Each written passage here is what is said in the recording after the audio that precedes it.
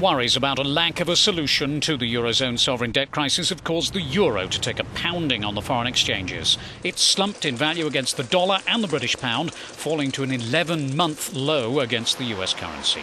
Traders say the euro looks set to remain weak through the end of the year. At one stage on Wednesday, it fell as low as $1.29.4 cents.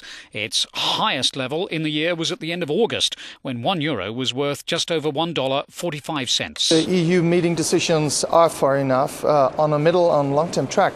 Uh, but on a short term track, we still have the problem of the refinancing of the uh, countries in the southern part of Europe.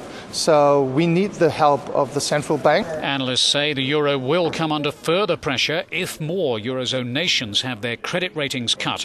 The worst effect would come from a downgrade to France's AAA status.